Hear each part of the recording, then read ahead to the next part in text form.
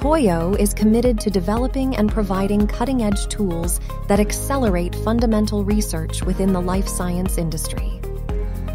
Our innovative solutions facilitate DNA amplification and sequencing, playing a crucial role in propelling genomic research forward. To effectively conduct single cell genome analysis, DNA amplification is required.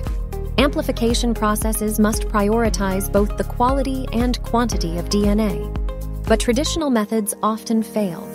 They can introduce biases that hinder analysis, or the amplification is not sufficient to support it.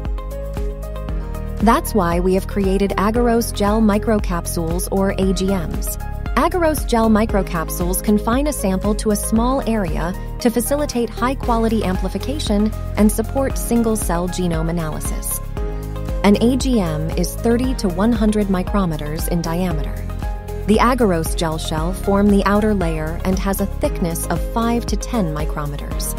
Underneath the shell is alginate sol core liquid and a single microorganism, represented here as an E. coli bacteria. The pores of an agarose gel shell have an average diameter of 100 nanometers, enabling enzymes and reagents to move freely into and out of the capsule. Here is a graphical depiction of the step by step method involved in producing AGMs using the components available in the Toyo AGM reagent kit. The kit incorporates patented technology, and the process of AGM creation is simple and reliable.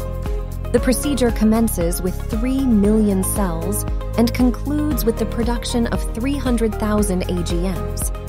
This visual is the protocol developed to guide you from the start point of sample collection to the end point of genome sequencing.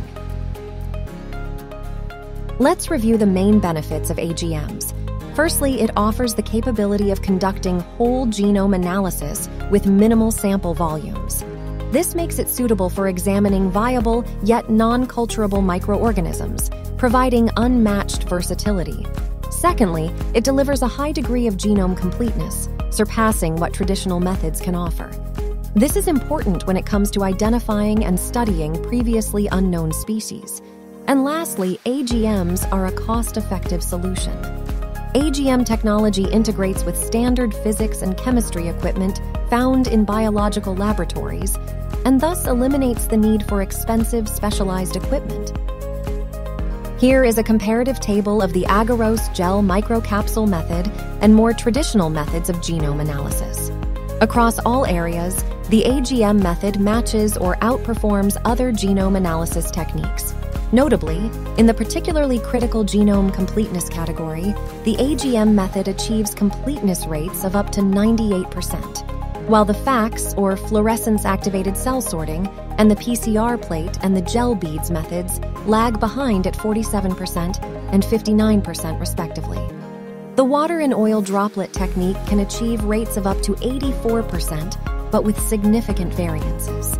Displayed in this table is the degree to which amplification bias is mitigated with the AGM method in comparison to the FACS method. This visual highlights another prominent AGM advantage. Gel beads represent a competitive method, but this technique exhibits limited DNA mobility within the beads, resulting in insufficient amplification. Thank you for watching. We hope you found this video informative and engaging. To learn more about Toyo's AGM technology, please contact us directly. Enjoy the rest of your day.